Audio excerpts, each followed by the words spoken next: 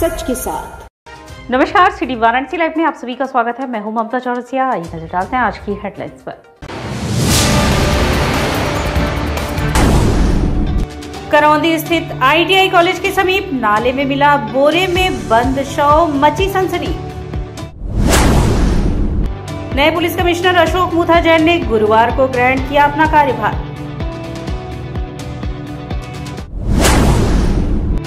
BHU राष्ट्रीय सेवा योजना के स्वयंसेवकों द्वारा विश्व एड्स दिवस पर निकाली गई साइकिल से जागरूकता रैली। और इस बार नगर निगम चुनाव में पूरे दमखम के साथ उतरेगा किन्नर समाज।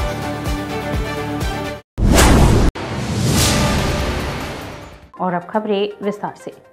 विद्युत कर्मचारी संयुक्त संघर्ष समिति का चल रहा आंदोलन तीसरे दिन भी जारी रहा। विद्युत कर्मचारी संयुक्त संघर्ष समिति के बैनर तले चल रहा आंदोलन तीसरे दिन भी जारी रहा।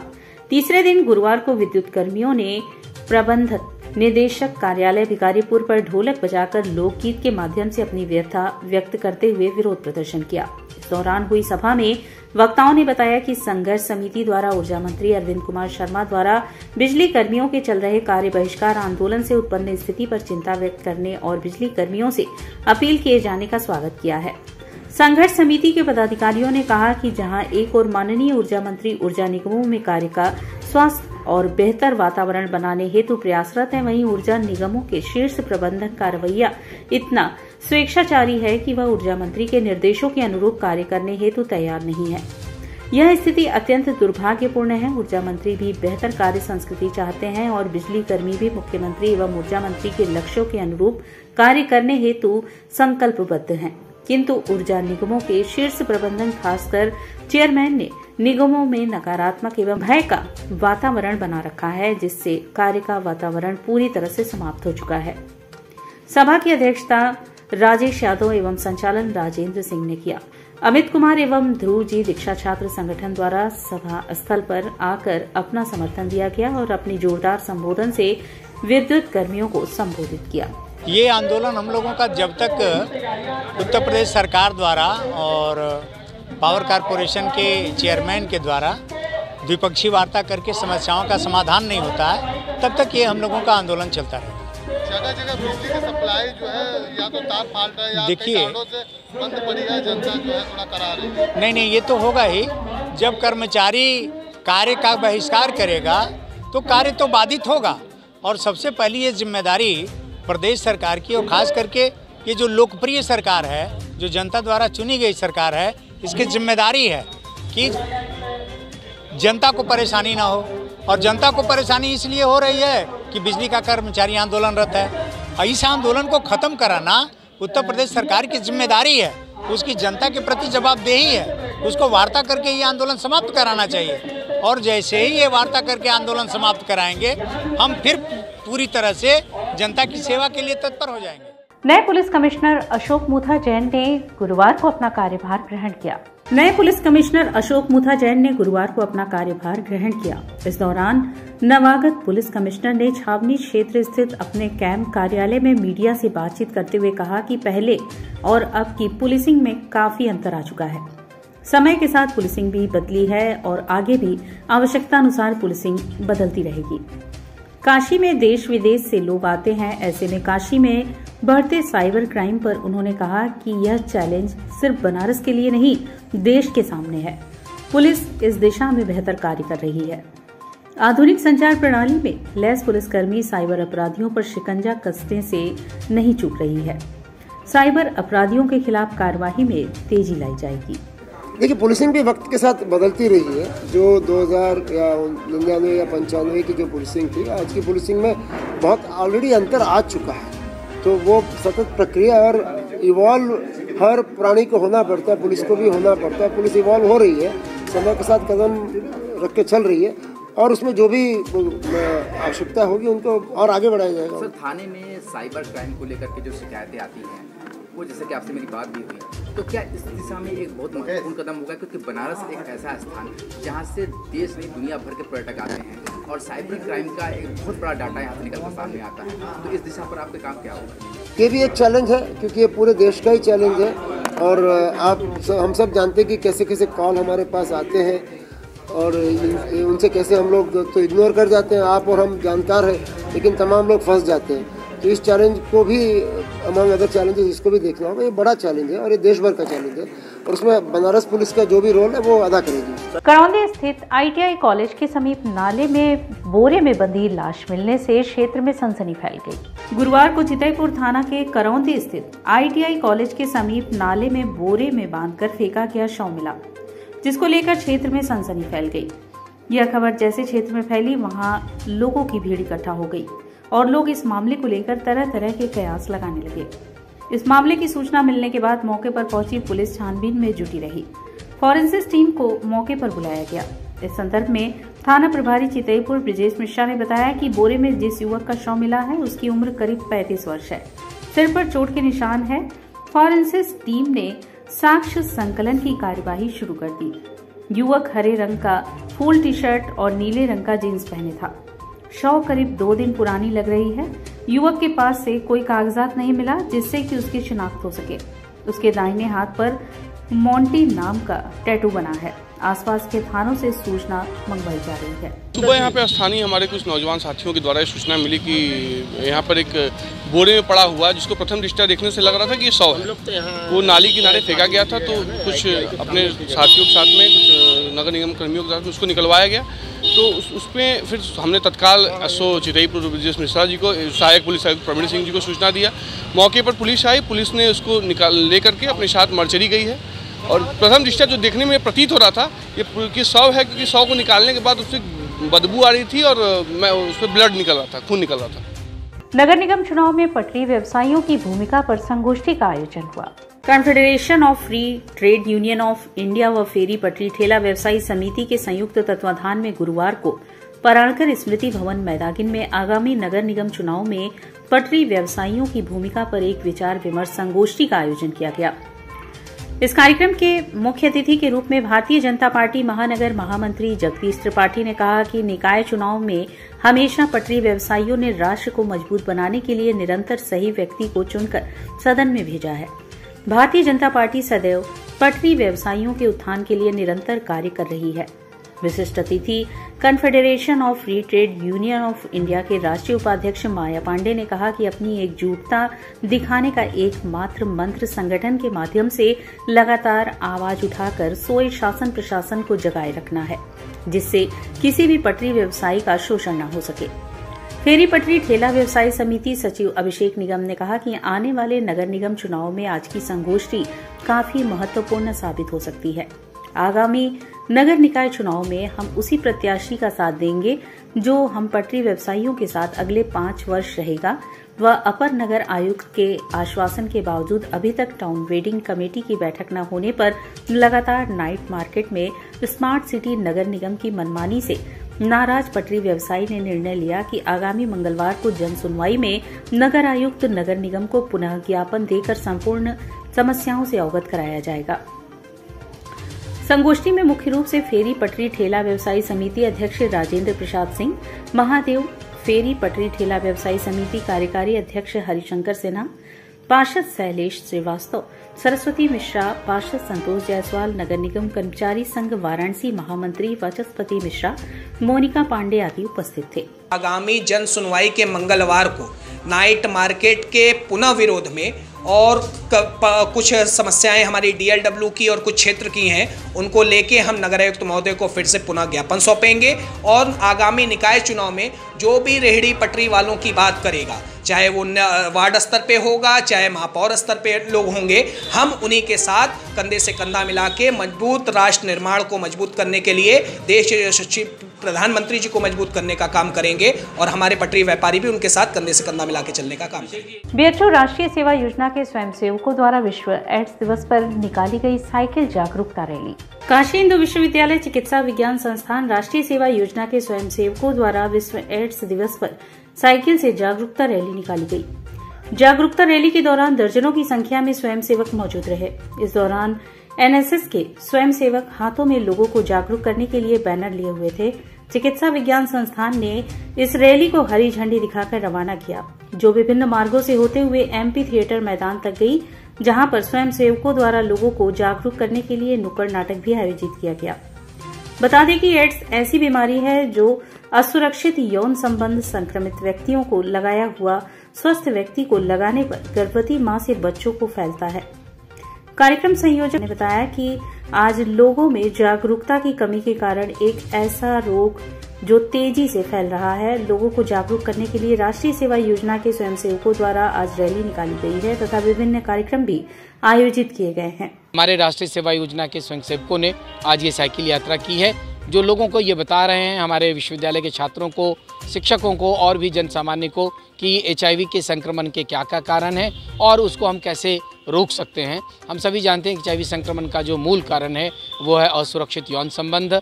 संक्रमित रक्त से भी ये फैलता है और जो अनबॉर्न बेबी अगर गर्भवती महिला के पास है तो उससे हो सकता है और जो दूध पिलाने के, से भी ये फैलता है। तो सबसे बड़ी बात है कि यदि आप जानकारी रखते हैं तो आप एड्स से बिल्कुल सुरक्षित रहेंगे।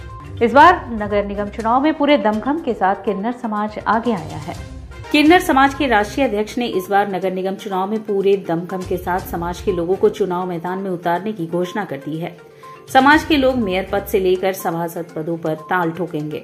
इस संदर्भ में गुरुवार को पराड़कर भवन में प्रेस वार्ता कर सलमान किन्नर ने कहा कि इस समाज में हमारा गहरा जुड़ाव है और पुराना नाता भी है। हम लोग लोगों की खुशियों में नेग लेने जाते हैं और बदले में दुआएँ देते हैं। लेकिन इस बार हमारी जनता से अपील है कि वह हमारे समाज को नेग के रूप में एक एक वोट जनता की सरकार बनाने में मदद करे।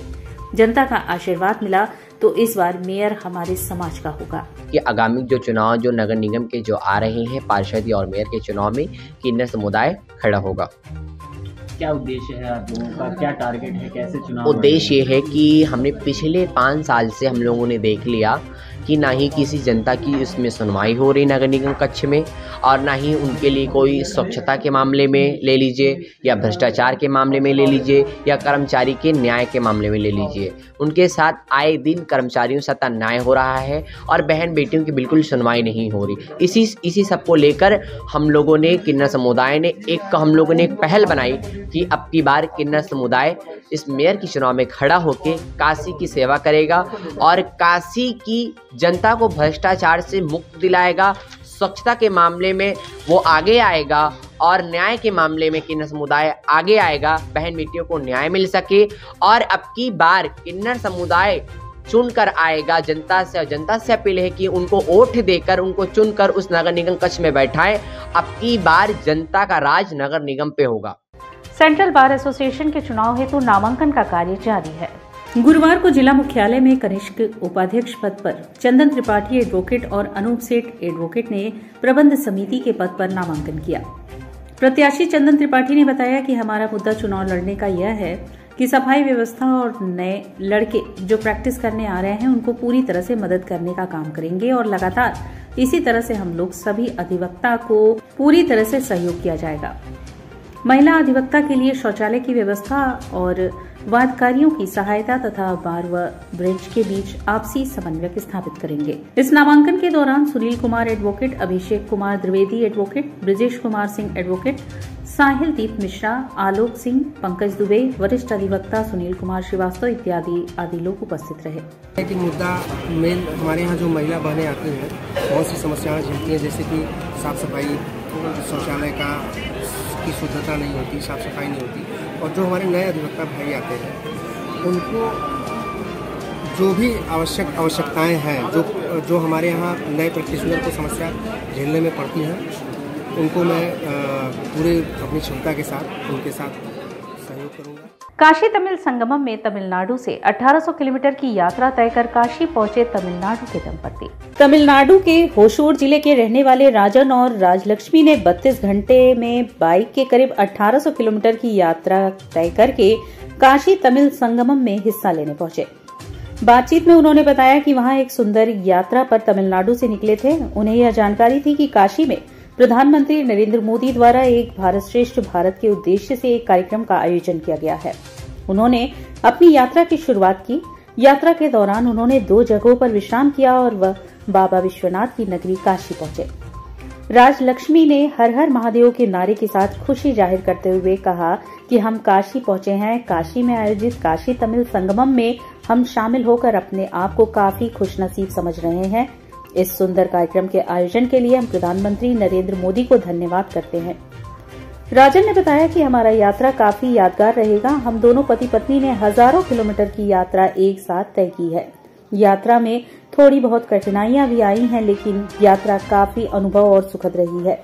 इस संगमम में हम लोग पहुँचे हैं। यहाँ के विभिन्न स्थलों का भ्रमण करेंगे और यहाँ के सांस्कृतिक कार्यक्रम में हम हिस्सा लेंगे। கப்பல் ரைடர்ஸ் ஏற்கனவே ஒரு ஒன் இயராக பார்த்தீங்கன்னா டூ வீலரில் ரைட் பண்ணிட்டு இருக்கோம் ஆல் இந்தியா ரைட் பண்ணி முடிச்சாச்சு. இப்போ பார்த்தீங்கன்னா காசியில் தமிழ் சங்கமம் நடக்குதுன்னு சொல்லிட்டு தெரியும். நேபாள் ரைடுக்காக பிளான் பண்ணோம். அப்படியே பார்த்தீங்கன்னா காசி தமிழ் சங்கமம் பார்த்துட்டு போடான்னு சொல்லிட்டு இங்கே வந்திருக்கோம். ஸோ மோடிஜியுடைய கிரேட் ஃபேன் நான். ஸோ யோகிஜியும் பார்த்தீங்கன்னா அவருடைய கவர்னன்ஸ் ரொம்ப பிடிக்கும். அதனால் காசி தமிழ் சங்கம் விசிட் பண்ணிட்டு இங்கே இருக்கிற ஈவெண்ட்லாம் பார்த்துட்டு ரொம்ப இம்ப்ரெஸ் ஆகிட்டோம் அவ்வளோ எது இடத்தையும் பார்த்தீங்கன்னா பார்த்துட்டு இவ்வளோ இருக்கான்னு சொல்லிட்டு பார்த்தோம் நாங்கள் தமிழ்நாட்டில் ஒரு சில இருக்கிறதுல எங்களுக்கே தெரியாது தமிழ்நாட்டில். பட் ஆனால் இங்கே வந்துட்டு பார்த்தீங்கன்னா எல்லாத்தையும் பார்த்தது ரொம்ப ஹாப்பியாக இருந்தது. நான் ஸ்டாப்பாக பார்த்தீங்கன்னா திங்கட்கிழமை காலையில் ஒரு நாலு பத்து வண்டி எடுத்தோம். நான் ஸ்டாப்பாக ரைட் பண்ணி வந்து tea break tiffin break petrol break petrol break அவ்வளோதான் அது நான் ஸ்டாப் ஒரு முப்பத்தி ரெண்டு மணி நேரத்தில் வந்து நாங்கள் வாரணாசி வந்து சேர்ந்துட்டோம். ஆமாம் thousand eight hundred fifty seven kilometres in thirty two 32 hours Hosur Tamil Nadu to Varanasi. So we have uh, completed. What is uh, this is for our self satisfaction. We have write this one, not to uh, make any book of records. BHU Hindi विभाग के सामने धरनारा छात्रों को हटाया गया इस कार्यवाही में सुरक्षा कर्मियों के साथ छात्रों की नोकझोंक भी हो गई वाराणसी फैक्ट फाइंडिंग कमेटी की रिपोर्ट आने से पहले पीएचडी नोटिफिकेशन जारी होने के खिलाफ हिंदी विभाग के सामने धरने पर बैठे छात्रों को गुरुवार को सुरक्षा कर्मी उठाकर चीफ प्रॉक्टर दफ्तर ले गए छात्रों ने इसका विरोध किया और सुरक्षा कर्मियों से उनकी जमकर धक्का मुक्की हुई।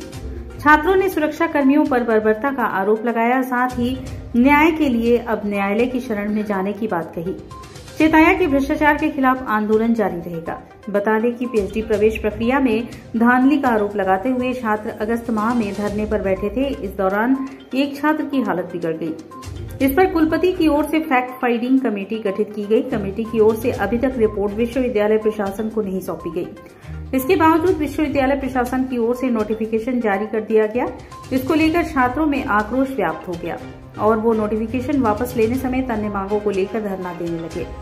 गुरुवार को सुरक्षा कर्मियों की टीम मौके पर पहुँची और हिंदी विभाग के सामने धरना दे छात्रों को उठाकर प्रॉक्टर ऑफ़िस ले गई। छात्रों ने इसका जमकर विरोध किया। इस दौरान सुरक्षा कर्मियों की छात्रों के साथ धक्का मुक्की भी हुई। मौलिक अधिकारों का उल्लंघन है।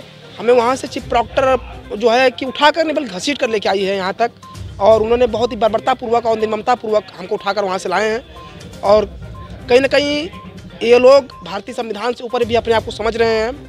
क्योंकि हमारा संविधान हमें अधिकार देता है कि कहीं भी आप बैठकर शांतिपूर्वक धरना प्रदर्शन कर सकते हैं, परंतु चीफ प्रॉक्टर के लोग और मेजर सिंह, मेजर सुजीत सिंह जो कि चीफ चीफ प्रॉक्टर में हैं, उन्होंने मुझे बहुत निर्ममता पूर्वक उठा कर लाया। इसमें हमारे एक साथी पवन पवन सिंह जी, हमारे जो साथी हैं, हमारे सीनियर, उनका पैर फ्रैक्चर हो चुका है और उनका जो है पैर फ्रैक्चर हो गया है।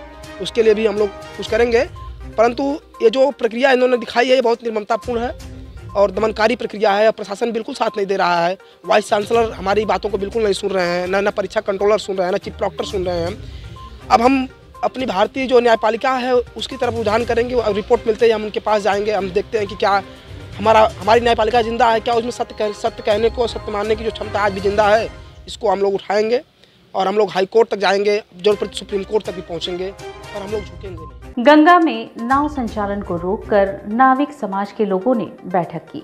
गंगा में कई हादसों के बाद प्रशासन की सख्ती से नाराज़ निषाद समाज के लोगों ने गुरुवार की सुबह नाव संचालन बंद कर बैठक की। इसमें हर हादसे के लिए नाविकों को दोषी ठहराने के प्रशासन के रवैये पर नाराज़गी जताई गई। साथ ही निर्णय लिया गया कि नाविक अब प्रशासन के मानकों के अनुरूप ही गंगा में नावों का संचालन करेंगे। दुर्घटना के लिए अब सिर्फ़ प्रशासन जिम्मेदार होगा। नाविकों ने मीटिंग के बाद गंगा में नाव संचालन शुरू कर दिया। समाज के लोगों का कहना था कि अब जितने भी लोगों को नाव की सैर कराएँगे, सभी को लाइफ जैकेट का उपयोग करना होगा। जनमानस की सुरक्षा के लिए जितने भी उचित नियम बनाए जाएँगे, सबका मजबूती से पालन करवाया जाएगा। किसी तरह की घटना, दुर्घटना अथवा हादसा होने पर शासन अथवा कोर्ट से निर्धारित नियमों का पालन किया जाएगा। नाविक समाज के लोगों ने कहा कि नौकायन हमारा कर्म और धर्म है।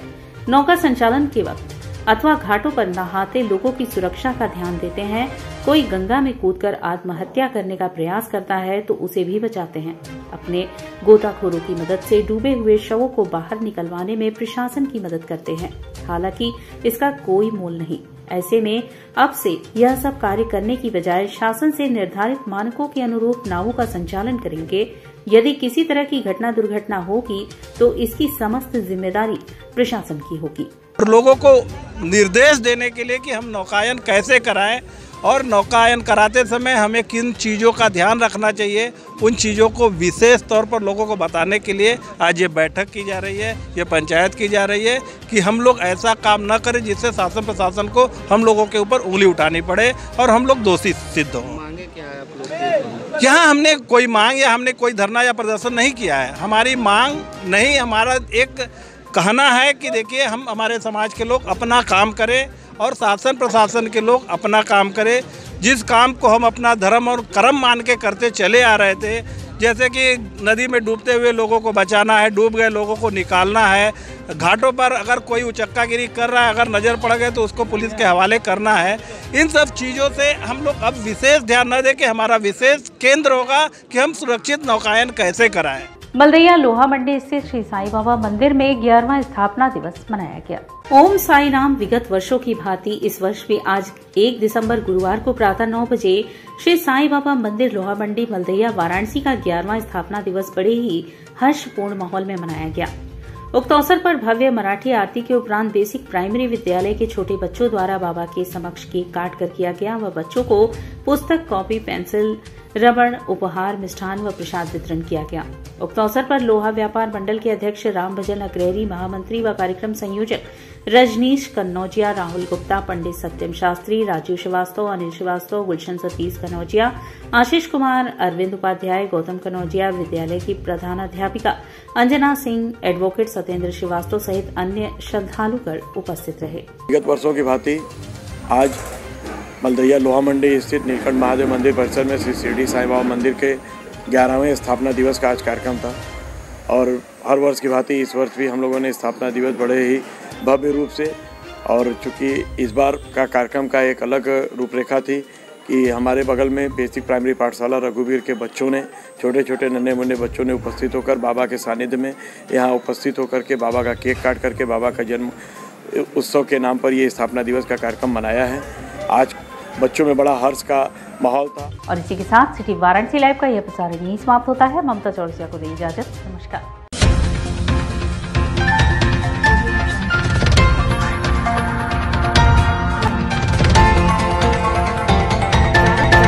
लाइव सच के साथ।